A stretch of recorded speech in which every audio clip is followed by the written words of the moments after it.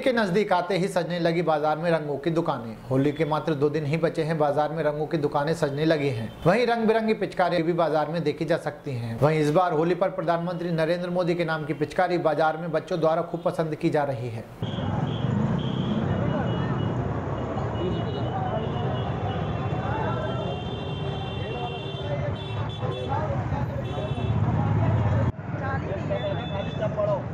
हाँ होगा ना।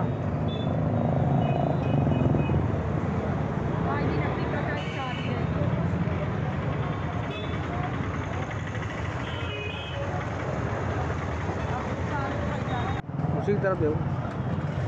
बेटा मान मोदी की तरफ़ देखो बेटा। मोदी तरफ़ देखो।